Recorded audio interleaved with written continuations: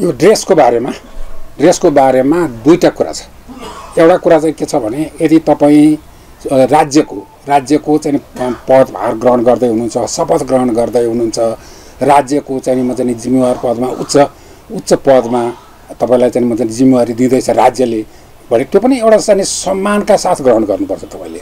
र रा त्यसले गर्दाखेरिमा त्यहाँ जहाँ मुन्जेलसम्म राज्यको चाहिँ म चाहिँ त्यो पदभार ग्रहण गर्दाखेरिमा राज्यको चाहिँ म चाहिँ अब शपथ ग्रहण समारोह होला। राज्यको चाहिँ म चाहिँ त्यस्तै किसिमका चाहिँ सेरोमनी होला राज्यका। अब राज्यको चाहिँ म चाहिँ अब औपचारिक आसनमा रहनु पर्ने होला जस्तो अब शिक्षा मन्त्रीको कुरा गर्नुभयो भने। शिक्षा मन्त्रीको चाहिँ आसनमा रहँदाखेरिको कुरा भने त्यो चाहिँ औपचारिक हो। औपचारिक हुँदाखेरिमा त्यो औपचारिकताको ख्याल गर्नुपर्छ त्यो ड्रेस कोडको ख्याल गर्नुपर्छ हरेक क्षेत्रको लागि हुन्छ। तपाईँको म चाहिँ अस्ति उज्जैनमा उज्जैनमा चाहिँ चाहिँ जा जाने भए। त्यो चाहिँ मतलब त्यत्रो लावा लस्कर सहित जानुभयो प्रचण्डजीहरू त्यत्र चाहिँ आठ आठजना मन्त्रीहरू थिए उनीहरूको साथमा र उनीहरू चाहिँ वास्तवमा चाहिँ कहाँ जाने भयो त उज्जैन मन्दिरमा।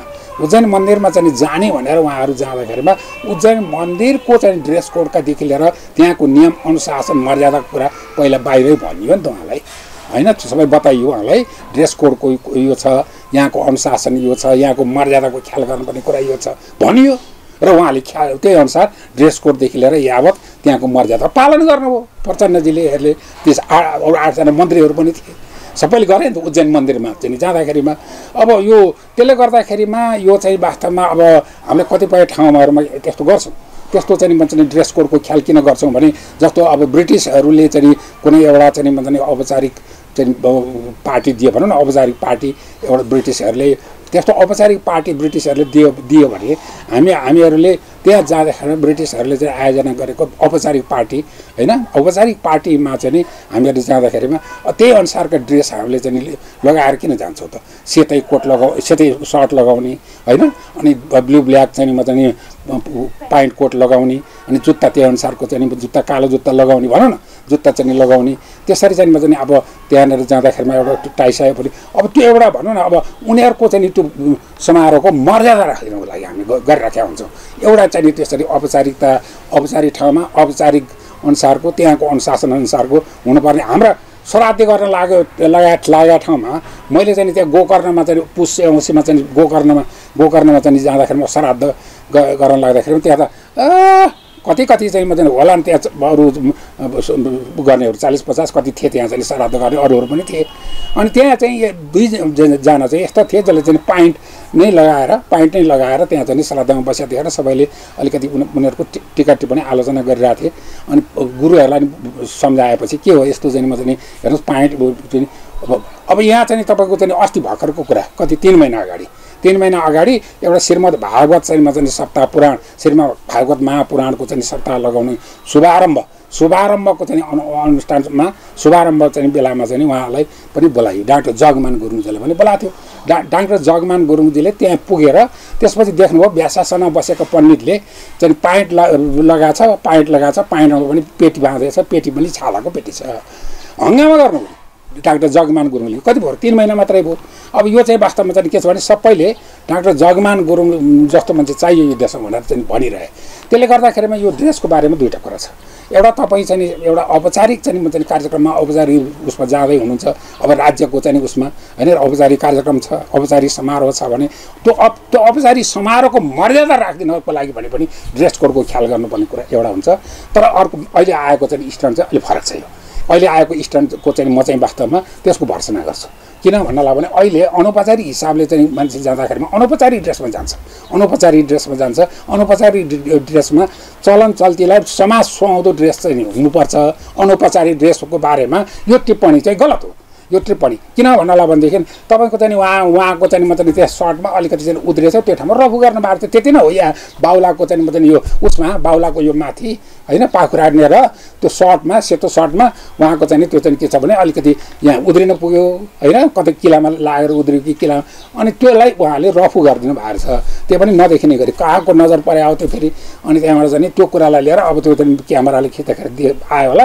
अनि त्यसपछि चाहिँ उहाँले त स्ट्याटसै लेख्नु भएको छ।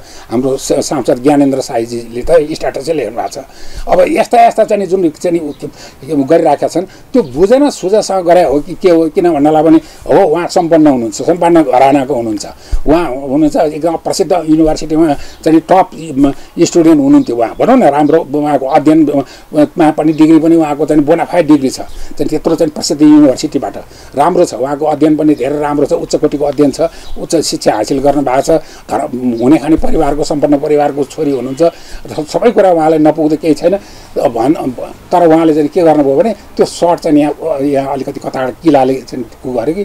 अनि किलाले त्यहाँनिर बाटोमा त्यो रफु गरेको कुरालाई लिएर यत्रो बवाल गरेको त्यो बवाल गर्नेहरूको क्षुद्रता भन्छु म चाहिँ। किन भन्नलाई भनेदेखि हामीले ड्रेस कोडको ख्याल गर्ने भनेको औपचारिक कार्यक्रममा चाहिँ ड्रेस कोडको ख्याल गर्नुपर्छ। जस्तो श्राद्ध गर्दाखेरिमा तपाईँ किन धोती लगाउनुहुन्छ त? धोती लगाउनुहुन्छ होइन? तपाईँको चाहिँ व्या व्यासासनमा चाहिँ बस्ने पण्डित व्यासासनमा बस्ने पण्डितको चाहिँ ड्रेसको चाहिँ एउटा समाजले एउटा ड्रेसको चाहिँ म चाहिँ त्यो पनि स्वत एउटा कायम भइरहेको हुन्छ। परम्पराको उहाँले त्यो च्यातेको सर्ट लाउनुभयो त्यो त्यो ठुलो विषय भयो। उहाँले सिलाएर लाउनु पर्नुभयो तर उनलाई त्यसले नै लोकप्रियताको लागि यति त्यो गरिरहेको रहेछ भने त त्यो त रङ भयो होला नि सायद अब लोकप्रियताको लागि त्यसो भएदेखि तपाईँको चाहिँ के अरे लालबहादुर शास्त्रीजी भारतको प्रधानमन्त्री भारतको प्रधानमन्त्री। अनि उहाँ चाहिँ वास्तवमा एकचोटि के भयो त भन्नालाई पनि घरबाट निस्कन लागेको अनि त्यो कोट चाहिँ एक ठाउँमा उद्रिएर छ। हत्ता न पत्ता चाहिँ आफैले चाहिँ हत्ता न पत्ता हतार हतार सिलाएर सिलाएर अलि मान्छेले नदेख्ने गरेर चाहिँ म चाहिँ त्यहाँनिर सिलाउँदा यति मसिनोसँग सिलाउन सक्षम हुनुहुन्थ्यो कि त्यो सिलाएको अरूले चाहिँ म चाहिँ त्यहाँनिर नजर नपर्ने। त्यो त्यो उद्रिएको नजर नपर्ने। उहाँले आफैले सिलाएको। त्यो सिलाएको पछि चाहिँ म चाहिँ त्यो चाहिँ बहुत चर्चाको विषय भएको थियो होइन? त्यो लालबहादुर शास्त्रीजीले कोट सिलाएर लायो भनेर। तर तर के त भन्ने भनेदेखि अब त्यो चाहिँ अब लालबहादुर शास्त्रीलाई केलाई चाहिँ त्यो स्ट्यान्ड गर्नु थियो र? उहाँलाई उहाँ त यसै पनि जनताको चाहिँ हाई हाई मान्छे। अहिलेसम्मको ने भारतको भारतको चाहिँ राजनीतिक नेताहरूमा सबैले अत्यन्तै श्रद्धा गरेको व्यक्तिमा त पर्नुहुन्छ नि त। होइन? के अरे गुलजारीलाल नन्दा। गुलजारीलाल नन्दा लालबहादुर शास्त्री प्रधानमन्त्री भनौँ न भारतका। यिनीहरू भनेका चाहिँ मतलब अब भनौँ राष्ट्रपति पनि हुनुभयो हाम्रो चाहिँ मतलब अब्दुल कलामजी। अब्दुल कलामजी अब्दुल कलामजी कति सादा कति सरल अति सादा त्यति सादा अब्दुल कलामजी राष्ट्रपति हुनुभयो अब त्यस्तै भारतका प्रधानमन्त्री भए चाहिँ नि गुलजारीलाल नन्दा होइन उनको चाहिँ बसेको ठाउँमा जाँदाखेरिमा एउटा भारतको प्रधानमन्त्री भएर यत्रो वर्ष प्रधानमन्त्री भएर चलाएको त्यत्रो वर्ष भारतको प्रधानमन्त्री भएर चलाएको गुलजारीलाल नन्दा भेट्न जाँदाखेरिमा एउटा सामान्य सामान्य अति सामान्य चाहिँ डेरामा चाहिँ बसिया देखेर पत्याउनै सकेन जाने मान्छेले पत्याउनै नसकेर यो हामीलाई सुनाएको छ त्यो कुरा। हामीलाई सुनाएको छ। गुलजारी लन्ना लाल नन्दाको विषयमा। उहाँ चाहिँ वास्तवमा यति एउटा विद्यार्थी बसेको विद्यार्थी बसेको जस्तो सामान्य कोठामा सादा हिसाबले भा- पत्याउनै सकेन। मान्छेले चाहिँ उहाँको कोठामा पुर्याइदिए। पुर्याइदिइसकेपछि उहाँ नै होला। उहाँको कोठा हेर्दाखेरि एउटा सामान्य कोठा होइन? सामान्य कोठा। अब यस्तो चाहिँ म चाहिँ अब लालबहादुर शास्त्रीजीको सादगीलाई लिएर के भन्ने नि त्यसो भए? उनलाई चाहिँ के को लोकप्रियता चाहिएको थियो? लालबहादुर शास्त्री जति लोकप्रिय को छ? को छ? आफै लोकप्रियताको शिखरमा हुनुहुन्छ। अरू बढी लोकप्रियता चाहिएकै छैन उहाँलाई। खाँचो नै छैन। त्यसले गर्दाखेरिमा त्यो कुरा चाहिँ गलत हुन्छ। त्यो गर्दैमा चाहिँ नि लोकप्रिय हुन्छ भनेर भन्ने कुरा भयो भने झन् राम्रो नि त। लोकप्रिय भयो भने झन् राम्रो नि। चाहिँ मान्छे सादा हुँदाखेरिमा लोकप्रिय भयो भनेदेखि हाम्रो चाहिँ एउटा सन्देश जान्छ नि त। राम्रै सन्देश जान्छ। नयाँ पुस्तालाई पनि के छ भन्नलाई पनि यत्रो ठुलो पदमा यत्रो सम्पन्न यत्रो सम्पन्न यत्रो हुने खानेको सम्पन्नको छोरी र अब यो यी त यो अति आफ्नो चाहिँ सबै आम्दानी पनि यत्रो आम्दानी भएको उनको त चाहिँ वास्तवमा चाहिँ म चाहिँ मासिक आम्दानी उहीँ अमेरिकामै यत्रो चाहिँ म चाहिँ त्यत्रो मासिक आम्दानी हामीलाई चाहिँ जिब्रो टोक्नुपर्नेसम्मको चाहिँ मासिक आम्दानी भएको चाहिँ म चाहिँ सुमना श्रेष्ठ त्यत्रो आम्दानी भएको त्यो सबै त्यागेर आयौँ भनेर चाहिँ त्यो त्यो लोकप्रियताको लागि मात्रै त्यागे हुन्छ र। त्यो त्यागिन् उनले भनौँ न एक किसिमले। त्यो त्यागिन उनलाई चाहिँ के छ भने ठुलो कम्पनीमा जब थियो नि त सुमना श्रेष्ठको। अमेरिकामा पनि ठुलो कम्पनीले राम्रो जब दिएको थियो। नि राम्रो तनखा थियो राम्रो स्यालेरी थियो राम्रै थियो। तर उसलाई उसलाई चाहिँ यहाँ चाहिँ जब यहाँ भूकम्प गयो नेपालमा भूकम्प जाँदाखेरिमा त्यो कम्पनीले पनि यहाँ चाहिँ भूकम्प उद्धारको लागि जनताको लागि के कार्यक्रम चाहिँ म चाहिँ गर्ने भनेर उनीहरूले बजेट छुट्याए कार्यक्रम बनाए। त्यो कार्यक्रम बनाए बजेट छुट्याएर त्यो बजेट कार्यक्रम चाहिँ उनलाई दिएर जिम्मा दिएर कम्पनीले यहाँ पठाएको हो। त्यो बहत्तर सालको भूकम्पमा भनौँ न। यहाँ आएपछि उनले उनले चाहिँ त्यो भूकम्पमा आफ्नो चाहिँ कम्पनीको चाहिँ चाहिँ बजेट कार्यक्रम अनुसारको कामहरू सम्पन्न गरिसकेपछि कामहरू सबै सम्पन्न गरिसकेपछि उनलाई उनी चाहिँ वास्तवमा यहाँ गर्दा गर्दै उनी यति भिजिन् यहाँ जनतामा यति भिजिन् कि उनलाई चाहिँ नि यी जनताको माझमा काम गर्छु भन्ने चाहिँ आयो भित्रबाट आएर उनले उताको त्यति राम्रो जब त्यति उच्च कोटिको जब अरूले चाहिँ आरिस गर्ने ईर्ष्या गर्ने डाह गर्ने लोभ लाग्दो जब त्यति लोभ लाग्दो जब पनि छोडिन्। र भनौँ न त्यत्रो चाहिँ पारिश्रमिक सबै भएको त्यो छोडेर यी बसे बसेको। अब त्यसलाई पनि के भन्ने त? अब त्यो छोडे त्यसमा त्यो छोडेलाई पनि इस्टर्नबाजी भन्ने कि? होइन त्यस्तो। अब यसरी चाहिँ कुरा के छ भन्नाले हाम्रो हेराइ के हो? हाम्रो हेराइ चाहिँ बरु चाहिँ कति सङ्कीर्ण हेर्नुहोस् त। मान्छेको हामीले त खोइ त हामीले चाहिँ त्यसो भए चाहिँ लालबहादुर शास्त्रीलाई पनि त्यस्तै भन् भन्यो भने स्ट्याटस लेखिदियो नि त। लालबहादुर शास्त्री त्यत्रो प्रधानमन्त्री भएर आफै चाहिँ म चाहिँ त्यो उद्रेको कोट चाहिँ सिलाएर लगाएर गयो भन्ने गुलजारी लाल नन्दा त्यत्रो भारतको प्रधानमन्त्री भएर त्यत्रो वर्ष प्रधानमन्त्री भएर बसेको मान्छे भेट्न जाँदाखेरिमा त एउटा विद्यार्थीको जस्तो एउटा कोठामा पो बसिरहेको छ एउटा बुद्धिएर त्यस्तो त्यसरी पो बसिरहेको छ भनेर चाहिँ म चाहिँ त्यसमा त्यसमा पनि टिप्पणी गर्ने त्यसमा पनि टिप्पणी गरेको। त्यस भए चाहिँ म चाहिँ के अरे हाम्रो उसको तपाईँको चाहिँ अमेरिकाकै भनौँ न अमेरिकाकै चाहिँ के अरे हाम्रो एकजना हुनुहुन्थ्यो नि अब्राहम लिङ्कन।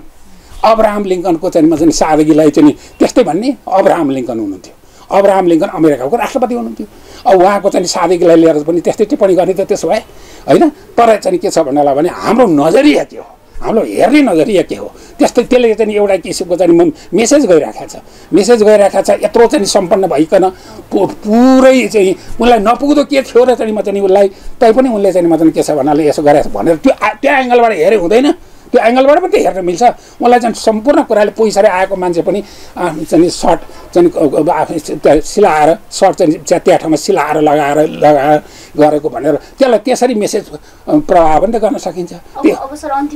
छोटोमा सर अब यो अहिलेको समीकरणको विषयलाई प्रधानमन्त्री प्रचण्डज्यू सत्ताको लोलुपमा हुनुहुन्छ उहाँ उथल पुथल गरिरहन्छु भनेर उहाँ आफैले भनिरहनु भएको छ कहिले काङ्ग्रेसको गठबन्धन बस्नुहुन्छ कहिले एमालेसँगको गठबन्धन।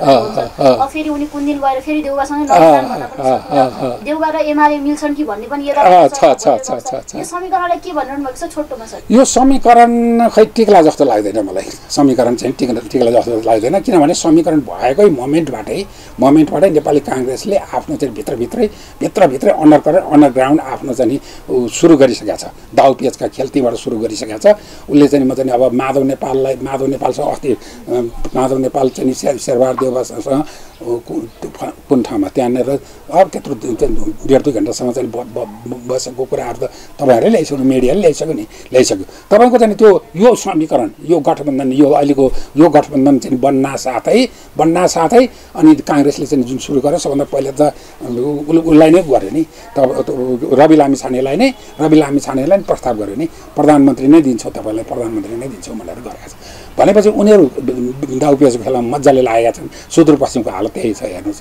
तपाईँको चाहिँ कोशी प्रदेशमा केदार कार्कीजीले म छोड्दिनँ भनेर भने। छोड्दिनँ भन्ने चाहिँ म चाहिँ त्यो हिम्मत आँट त्यो कहाँबाट आयो। त्यो आउनु चाहिँ नि त्यो हिम्मत चाहिँ आउनुको कारण चाहिँ पछाडि कारण चाहिँ के छ भने केन्द्र केन्द्रबाटै चाहिँ नि म चाहिँ केही न केही भइरहेछ खिचडी पाकिरहेछ आखिर चाहिँ म चाहिँ धेरै चल्दैन।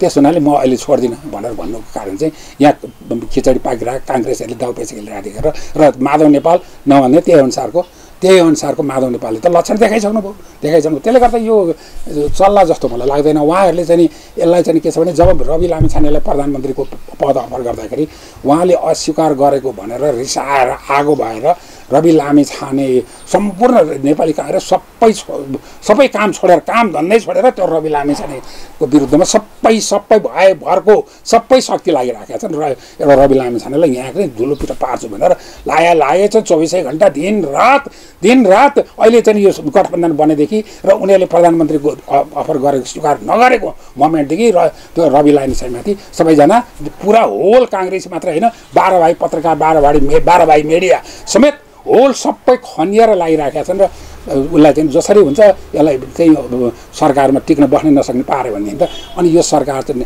सरकार ढाल्नलाई यताबाट हुन्छ कि यताबाट हुन्छ कि उहाँहरू लाग्नु भएको छ र त्यहाँ उहाँहरू केही सफल भएको लक्षण चाहिँ सुदूरपश्चिममा देखियो अब यतातिर देखियो। अब यो यो अहिलेको चाहिँ म चाहिँ उसको नागरिक उन्मुक्ति पार्टी रमेश के अरे रेशम चौधरीजीको पार्टीको पार्टीभित्रको खेलोमेलो पनि त्यही अनुसार आएको हो यो आइरहेको छ। त्यसले गर्दाखेरिमा काङ्ग्रेसले चाहिँ म भयङ्कर एडी चोटिको जोड लगाएर गरिराखेको हुनाले र अब यस्तै छ माधव नेपालजी पनि अरहरिएर बस्नु भएको छ अरहरिएर निकै अरहरिएर भएको छ। त्यसले गर्दाखेरिमा उहाँ यो यसलाई टिक्नलाई गाह्रो गाह्रो पार्ने सम्भावना देखिरहेको छ यो यो धेरै नटिक्ला कि जस्तो लागिरहेको छ।